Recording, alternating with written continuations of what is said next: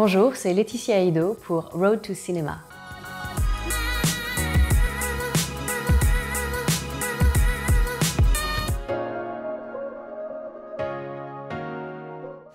Euh, c'était un petit peu inattendu. Ce dont j'étais sûre, c'est que je voulais être artiste. J'avais pas croisé euh, dans ma famille ou de gens qui étaient là-dedans. J'avais pas du tout capté qu'il y avait une option théâtre euh, au lycée. Enfin bref, ça m'était passé complètement à côté. En revanche, j'écrivais beaucoup. Je faisais des concours de, de nouvelles, de poèmes. C'était vraiment des chansons. J'écrivais tout le temps. Donc c'est les mots en fait qui m'ont amené à cette carrière-là, mais avant ça, euh, j'ai fait architecture. Et d'un coup, une amie euh, qui, euh, elle, aujourd'hui est architecte, m'a dit Je me suis inscrite au conservatoire de Grenoble en théâtre et c'est horrible. Ils m'ont demandé de m'allonger par terre et de hurler. Je peux pas faire ça, donc toi, t'es un petit peu original, vas-y, prends ma place. Alors j'y suis allée et j'ai eu la chance de prendre sa place en auditrice libre. Et tout de suite, je me suis dit oh, Waouh, en fait, ces gens-là, ils apprennent un métier et en plus, ils vont être payés pour dire des mots. Et donc, j'ai dit très bien, dans six mois, j'ai arrêté l'archi. Et euh, contrairement à ces étudiants qui passaient beaucoup de temps à rester en région pour faire des concours, je me suis dit, non, moi, je fonce, je vais à Paris tout de suite. J'ai commencé ensuite à enchaîner les écoles de théâtre. Alors, j'en ai enchaîné six, parce que les écoles et moi, ça fonctionnait pas, je sais pas pourquoi. Enfin si, maintenant je sais, parce qu'il y a un jour où j'ai trouvé la bonne. Et c'était une technique complètement différente, qui est une technique qui s'appelle euh, Meisner, un disciple de la méthode Stanislavski, mais qui l'a complètement transformée. Donc vraiment faire confiance aux mots et à celui qui est en face de nous. Et à partir de là, en fait, tout s'est éclairé. Pourquoi je voulais faire ce métier, dans la connexion en fait à, l'autre et dans la magie de on ne sait pas ce qui va se passer. D'un coup, tout prenait son sens parce qu'il euh, y avait une, excitation. Voilà, j'avais plus en fait, je trouvais plus l'excitation dans les écoles en me disant quelle est cette drôle de technique où il faut se rappeler de l'odeur des cierges de l'église le jour où on a enterré sa grand-mère? Et à la fin, je me disais, mais qu'est-ce qui me reste en fait Du plaisir? Et quand j'ai trouvé cette autre euh, méthode, tout s'est débloqué. En fait, le moment où ça m'apporte le plus, c'est vraiment le moment où je le, partage avec l'acteur en face. C'est très rare que l'acteur en face ne soit pas dans le, le partage, mais quand il l'est justement ou quand elle l'est, il n'y a rien qui peut remplacer ça en fait. Parce que c'est d'un coup ces deux êtres humains qui se rencontrent et il y a des petites étincelles qui se, qui se passent en général quand on joue ensemble. Pour moi, c'est ce qu'il y a de plus précieux. Souvent, on, me dit, mais il y a quelque chose quand tu joues comme une vibration ou je sais pas quoi. Je dis, mais vous pouvez pas me faire un plus beau compliment parce que pour moi, c'est vraiment se canaliser comme ça l'un sur l'autre et d'explorer de, l'âme humaine en fait. Et finalement, je me rends compte que ce métier, c'est pour moi, c'est une quête de comprendre les humains que nous sommes à travers mon outil qui est mon corps et, tout ce qu'on peut faire avec, euh, ressentir, dire. Euh. J'ai eu beaucoup de chance que Yvan Attal me propose ce rôle. Euh, ça a été comme une évidence pour euh, lui et pour moi surtout. J'avais très envie de toute façon de travailler avec lui. Ben, ça a été vraiment une belle rencontre parce qu'il est jeune comédien, tout dans l'émotion, tout à fleur de peau. Mais euh, c'est vrai qu'on a eu, euh, a eu deux jours en fait de tournage et pour ces deux jours, il y avait une scène toute la journée. C'est-à-dire que c'est une scène qui nous a pris la journée entière. Et la deuxième grosse scène du, du procès, c'est pareil, ça nous a pris la journée. Et Yvan est très très bon directeur d'acteur. Ça, alors j'ai vraiment vu la différence. Le fait qu'avec des réalisateurs qui parfois ne le sont pas, là on se laisse guider, il sait exactement ce qu'il veut, il nous pousse au bon endroit. J'ai vu le, film récemment, là, en projection, et c'est exactement ce que... c'est même mieux que ce que j'imaginais. Euh, oui, celle de Terence Malik. Ça, c'était énormissime. Pareil, très beau cadeau d'une directrice de casting qui d'un coup me téléphone et me dit « Je peux pas le dire à votre agent parce que c'est top secret, donc je vous appelle pour vous dire que je voudrais vous voir pour le film de Terence Malik. » Et là, je me suis assise comme ça, je me suis dit « Pardon, qui ?» Elle m'a dit « Ben, Terry Malik, you know ?» J'étais là « Non, you know, you know quoi? De quoi vous me parlez ?» Et c'était euh, là le début, pareil, d'un rêve éveillé, quoi. Je me suis dit « Il faut qu'il me voit. » Et donc, c'était très, très beau. Il m'a confié un très beau personnage. C'est quelqu'un de... On dirait qu'il est en permanente. C'est assez étrange, il est très calme. Et puis c'est quand même quelqu'un d'incroyable, il est quand même assez âgé et tous, tous ses chefs de poste sont les mêmes depuis des années. En revanche, tout ce qui est sous le chef de poste, tout le monde change à chaque film parce qu'il forme les jeunes. Bah, personne ne le sait, mais je trouve ça génial. quoi. Donc c'est exactement ça que j'ai rencontré un homme généreux, créatif, dans une certaine folie parce qu'il sait ce qu'il veut. Je veux dire, en tout cas, il était aux aguets et il y a eu une vraie rencontre. Des fois, on se dit quand même, je, je reçois un message de Terence Malik, c'est chouette. Donc ça, c'était une très belle rencontre. Je travaille toujours dans cette euh, obsession de savoir le texte parfaitement.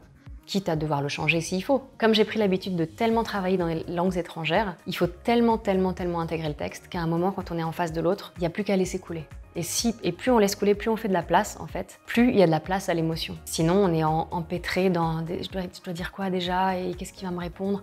Alors que quand on est vraiment euh, libre, et ben pour moi, on est comme un canal euh, vide. Et c'est la création pour moi, tout est pareil, que ce soit du dessin, peu importe ce qu'on fait, de l'écriture, il faut laisser en fait le canal euh, le plus ouvert possible pour recevoir ce qui se passe. Donc moi, ma technique, c'est celle-là. C'est celle qui me satisfait le plus aussi parce que je peux me laisser surprendre. Je suis pas maître de tout. La seule chose dont je suis maître, c'est d'avoir bien fait mon travail, d'avoir bien appris et ensuite, je peux me laisser guider comme un petit canoë sur l'eau du réalisateur.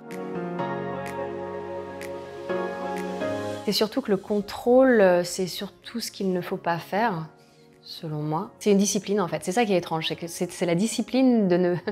du lâcher prise, la discipline du laisser faire. C'est comme un danseur utilise euh, la barre pour faire euh, ses muscles, ses figures, etc., pour être libre ensuite d'interpréter ce qu'on va lui demander. C'est exactement pareil. Si on a les muscles pas chauffés, il y en a qui y arrivent peut-être, en tout cas moi c'est pas ma technique, j'aime bien être euh, comme une sorte d'hygiène en fait, comme une sorte de santé du corps et, de, un muscle. D'ailleurs euh, cette technique parle beaucoup du muscle de l'émotion. C'est vraiment ça en fait. Et, des fois on reprend les exercices et on se dit oh là là je suis complètement rouillé là. Et c'est le cas. Parfois notre muscle de l'émotion est rouillé et on va pas toucher euh, à nos émotions tout de suite. Il faut un petit peu gratter quoi derrière. Et c'est ça notre travail d'acteur. En fait, chaque projet m'a amené quelque chose de très très différent. Parce que j'ai eu la chance de tourner par exemple dans les montagnes kabyles pendant 4 mois, où on mangeait du couscous aux fèves euh, dans un petit village où on pouvait accéder qu'avec un âne. Et là d'un coup j'ai dû apprendre leur langue, pouvoir jouer dans cette langue-là. C'était un pari complètement fou. J'ai découvert euh, une culture donc euh, par l'intermédiaire de cette langue, donc ça c'était un cadeau magnifique. Que ce soit après dans Fauda, sur le, qui veut dire chaos, sur le conflit israélo-palestinien, où j'ai pareil énormément appris politiquement, où j'ai pu m'interroger beaucoup, comprendre beaucoup plus en étant sur place euh, ce qui se passe dans cette région euh, qu'en étant loin. Récemment, j'ai beaucoup appris sur la politique mondiale avec la série euh, que je viens de terminer il y a quelques jours, qui est une série qui nous a aussi pris 4 mois. Et c'était Liaison. Donc Liaison, c'est la nouvelle série Apple Plus qui va ouvrir, on est très fiers parce que ça va ouvrir la nouvelle plateforme Europe avec donc en rôle principaux Vincent Cassel et Eva Green qui sont des partenaires géniaux. Et avec euh, Stanislas Mérard, Irène Jacob, Jackie Cario, Gérard Lanvin, Daniel Francis, Bucky Buckray, et moi. Ça parle de cybersécurité mondiale. Et donc en fait, euh, c'est des sujets qui sont de plus en plus au goût du jour avec euh, le développement de la sécurité Internet, etc., de la surveillance. J'ai remarqué quelque chose en fait, c'est que mes, mes rôles me précèdent souvent. On s'est rendu compte de ça en fait avec mon coach. On s'est dit, mais c'est super bizarre. Par exemple, j'ai toujours, j'ai jamais joué de méchante jusqu'à aujourd'hui, où on vient de me proposer un rôle euh, dont je peux pas encore parler et qui est magnifique. donc je pars dans 4 jours pour le tourner. Mais c'est vraiment ce qu'on appelle la badass, quoi, comme on dit. Et là, maintenant, ça fait deux ou trois fois qu'on me propose vraiment des rôles dangereux. Et je me dis, tiens, c'est marrant. Euh, et, en fait, il se trouve que dans la vie, c'est juste que j'arrive à un moment où ça y est, je me suis blindée en fait. Et c'est donc étrangement, peut-être que les directeurs de casting ou les réalisateurs se disent, le ressentent et se disent, ouais, elle, elle peut faire une badass. Non, ça me fait pas peur. En fait, je me suis toujours dit que de toute façon, quoi qu'il arrive, je pourrais me rattraper si ça marche pas parce qu'en fait, euh, j'ai blindé, on va dire, mes bases à l'avance. C'est-à-dire qu'au départ, je me suis beaucoup formée. Enfin, après l'architecture, j'ai travaillé vraiment en tant que scénographe. Je me suis dit que c'était logique, en fait, que je me serve de ma formation pour quelque chose quand même. Donc, du coup, j'ai fait du décor de théâtre. Donc, je me suis dit, bon, bah, ok, euh, pourquoi pas, je, pourrais faire ça, tout en faisant mes écoles de théâtre. Donc, euh, je me suis spécialisée en voix off, en doublage, en radio, en tout ce qu'on veut. Donc voilà, et, en plus, je m'éclate quand je fais ça. Il m'est arrivé de faire 12 voix de jeux vidéo dans un seul jeu vidéo, et j'ai fait 12 voix complètement différentes de la vieille avec les petites, les petites gamines. Et d'un coup, euh, je me suis dit, ah ok, donc en fait, euh, si ça marche pas, je pourrais faire ça. Et comme j'ai comme ça quelques autres cordes à mon arc, je me suis dit, en fait, avance. De toute façon, tu verras bien. Au pire, tu te retrouveras pas à la rue, tu feras ça, ça ou ça. Ça te plaît aussi. J'ai l'impression que quand j'ai peur, de toute façon, les choses foirent. Donc des fois, je me mets des œillères en me disant, non, non, t'as pas peur, tout va bien. Et euh, je reste, j'essaye de rester euh, dans le moment présent et de me dire, en fait, là, je suis euh, assise sur mon siège et le truc au-dessus de moi ne s'est pas encore écroulé. Mais c'est une discipline aussi, ça, justement, de, de tous les jours. mais j'y arrive. J'ai eu beaucoup de plaisir à ce que ce soit une continuité, puisque j'avais déjà travaillé avec ce réalisateur et euh, je trouve ça euh, toujours très beau d'intégrer un peu un univers, une famille si on veut, et en tout cas que cette personne se dise bah oui en fait c'est évident, donc c'est l'autrice d'Elinda Jacob qui a pensé à moi, qui m'a proposé à la productrice Sophie Réville. Et puis euh, c'était une évidence, comme Karim Waret avait déjà travaillé avec moi, il a dit ben oui. En fait, ils nous ont dit c'est le casting le plus rapide qu'on a jamais fait. D'ailleurs, on n'a pas fait de casting, on a fait clac, c'est bon, c'est elle. Donc ça a commencé dans de très bonnes euh, énergies comme ça et ça n'a fait que continuer puisqu'ensuite j'ai appris que jouer avec Thibaut de Montalembert, c'est quand même un cadeau de jouer avec lui parce que c'est à la fois un grand acteur de théâtre, de cinéma, de télé, de tout, ce qu'on veut, on le connaît et on sait qu'il est très très bon. Et euh, chaque scène, j'avais l'impression d'apprendre quelque chose. Grand bonheur aussi de jouer avec Jérémy Régnier et Jonathan Zakaï. J'ai adoré ces deux personnes. Et en plus, c'est bizarre, mais je venais juste de voir Slalom. J'avais déjà vu Jérémy Régnier dans d'autres choses, mais Slalom, ça m'a vraiment marqué. J'ai adoré. C'était très étrange d'ailleurs parce qu'il joue un rôle euh, assez inquiétant quand on est une femme dans Slalom. Et là, dans ce rôle-là, pas du tout. Il est même presque en faiblesse. Il ne faut pas spoiler, mais en tout cas, c'est avec François Cluzet. J'ai pas eu le plaisir de jouer avec lui, mais qui est un personnage très inquiétant qui s'installe dans leur cave et qui les menace. Et euh, ça a été très, très joyeux de jouer avec Jonathan Zakaï aussi, qui est, qui est vraiment ils sont super sympas. J'ai vraiment eu de la chance ces derniers temps de jouer avec des acteurs et des actrices humainement très, très, très généreux en fait. Très sympa.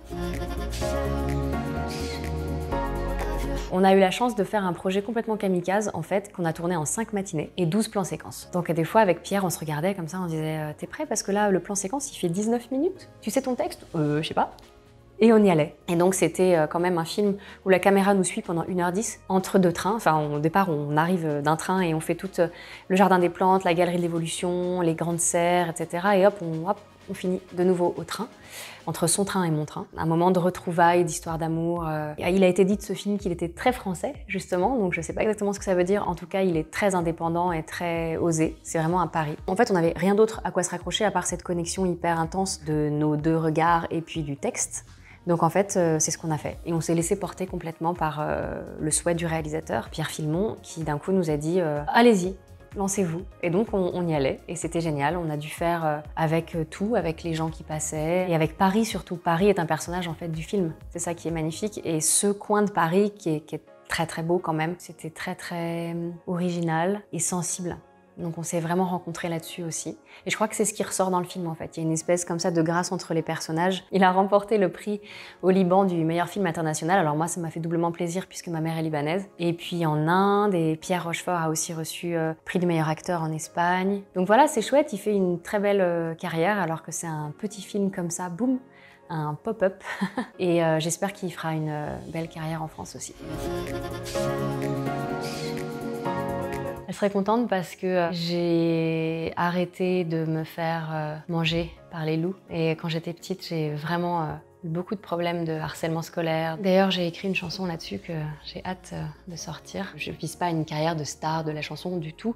Je fais ça justement dans une pile à l'endroit de ma vérité à moi en demandant rien à personne et en le faisant pour moi. Et c'est comme ça que ça me nourrit. Et c'est vrai que les textes que j'écris, justement, ils sont euh, parfois drôles, parfois pas. Mais en tout cas, ils reflètent souvent, pour l'instant, ce que la petite fille a rêvé. Et aujourd'hui, en tant qu'adulte, j'aurais envie de dire Yeah, tu l'as fait. Le conseil que je donne tout le temps, c'est vraiment d'être entouré, parce que c'est un conseil qu'on m'a donné, que j'ai pris très au sérieux. C'est-à-dire que c'est pas parce que euh, on a fait euh, rien encore dans sa vie qu'on n'a pas le droit de s'entourer d'un coach, euh, d'une maquilleuse ou d'un maquilleur. Si d'un coup un jour on a un casting et il faut qu'on ait l'air de, par exemple, j'ai passé un casting où il fallait que je sois dans les années 60 et j'avais besoin de me sentir dans cette donc tout de suite, il faut pouvoir avoir quelqu'un, en fait. C'est comme s'il fallait se construire une petite team et se dire, ok, j'ai euh, telle personne, telle personne, telle personne, je peux les appeler, je ne suis pas seule. Même peut-être il y en a qui ont des parrains de théâtre ou de cinéma, ou voilà, des gens, euh, surtout qu'en plus on n'est pas euh, tous issus d'une culture ou d'un milieu dans lequel on baigne dans, dans le cinéma, dans le théâtre, dans la culture de manière générale. Donc c'est bien d'avoir des alliés, c'est pas facile parce que ben on demande pas, hein, genre je voudrais bien qu'un tel soit mon parrain ou ma marraine. Mais je pense que c'est plus sans aller chercher trop loin, c'est plus autour de nous, se dire comment, qu'est-ce qui m'est accessible et sur qui je peux compter. À condition évidemment qu'on puisse compter aussi sur nous et c'est un échange. En plus en France, on a quand même beaucoup de chance. On a euh, plein de systèmes d'aide, on a l'AFDAS, on a beaucoup de choses. Et évidemment, l'autre conseil, c'est les rencontres. Conseil que je devrais m'appliquer à moi-même. On peut pas faire ce métier tout seul en fait. On peut pas le faire tout seul et j'ai longtemps cru que seul, enfin je comptais que sur moi au départ. Je, me disais si je travaille bien. Alors c'est vrai aussi, hein. si on travaille bien, il y a un moment, ça paye. Et si on lâche pas, quand la vague euh, bah, a fini de passer, et eh bien après il y a ceux qui ont lâché et puis il y a ceux qui n'ont pas lâché. Et donc il y a beaucoup beaucoup moins de concurrence. Il faut avoir cette idée de se dire qu'on tient bon, qu'on se fait plaisir. Euh, et ça, c'est quelque chose que j'ai longtemps oublié parce que le travail euh, c'est vrai, sans casting pour en avoir un, il y a un moment, on frôle le dégoût, quoi. J'ai pris une décision il y a quelques temps, je me suis dit, je ne ferai plus aucun casting qui ne me donne pas du plaisir. Donc, est-ce que ce rôle m'amuse? Oui, non, non, mais je vais quand même trouver un truc qui m'amuse. Donc, je trouve quelque chose et je me donne un temps limité. Je me dis, je n'y passe pas plus de deux heures, disons, total, c'est-à-dire maquillage, euh, costume.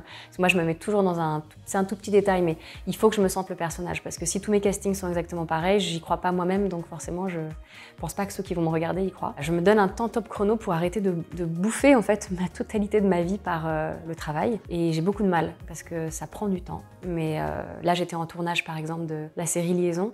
Et pendant ce tournage, il a fallu que je passe trois castings. Donc on se dit mais comment je fais en fait? Je tourne euh, après-demain et donc j'ai qu'une journée de break. Et dans cette journée de break je dois apprendre un casting, l'envoyer, le monter. Je l'ai eu en plus le casting. Et c'est pas pu le faire puisque c'est les mêmes dates de tournage qu'un autre projet. Donc tout va bien. Problème euh, qu'on aime avoir. Et voilà j'en ai passé trois en fait. Et je me disais mais je quand est-ce que je me repose en fait Et ben je dirais aux jeunes acteurs qu'il faut quand même réussir à trouver des plages pour pas craquer. Sinon c'est vrai que des plages de, repos quoi, des plages de stop parce que sinon on n'a plus de plaisir. Et si on n'a plus de plaisir, alors là, euh, ben, ça vaut plus le coup. Quoi. Parce que si ça se trouve, la vie s'arrête demain matin, donc ça aurait été bête de ne pas avoir du plaisir pendant ce qu'on faisait.